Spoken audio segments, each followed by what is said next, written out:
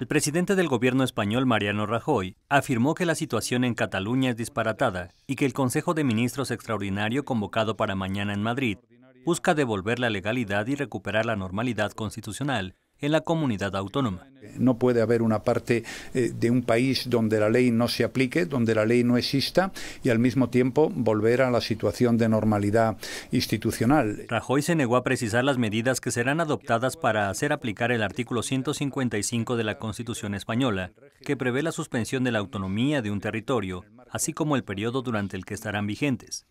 aseguró que la decisión de suspender la autonomía a Cataluña es el último recurso de Madrid para hacer cumplir la ley al gobierno regional, que promovió un referéndum independentista pese a la prohibición de la Corte Constitucional Española. Eh, hemos intentado por todos los medios no llegar a una situación difícil, pero comprenderá usted que es muy difícil eh, que un país, un gobierno de la Unión Europea, cuando se liquida la ley, se liquida el Estado de Derecho, eh, leyes que han sido declaradas contrarias a la Constitución por el Tribunal Constitucional, pues se ignora absolutamente, se dice que están en vigor, se celebran referéndums sin garantías ninguna, comprenderá que hemos llegado a una situación límite. Y creo que eh, yo, evidentemente, no defiendo las posiciones del Gobierno de Cataluña, pero es que creo que las han defendido eh, francamente mal. Se lo digo con absoluta eh, franqueza. No se puede, después de las facilidades que se le han dado, simplemente se le pidió que dijera que no había procedido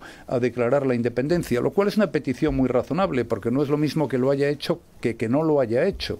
Pero además de eso, tenemos la ley del referéndum, tenemos las derogaciones de la Constitución española, tenemos un sinfín de decisiones adoptadas en contra del Estatuto de Autonomía de Cataluña y de la Constitución y eso lógicamente pues nos obliga a actuar y vamos a actuar conjuntamente pues partidos que algo representamos en el conjunto de España, como es el Partido Popular, el Partido Socialista y Ciudadanos. Rajoy se lleva de Bruselas el apoyo de los demás líderes europeos, quienes fueron unánimes en defender el respeto de la Constitución española y calificar la crisis catalana como un problema interno de España. Notimex.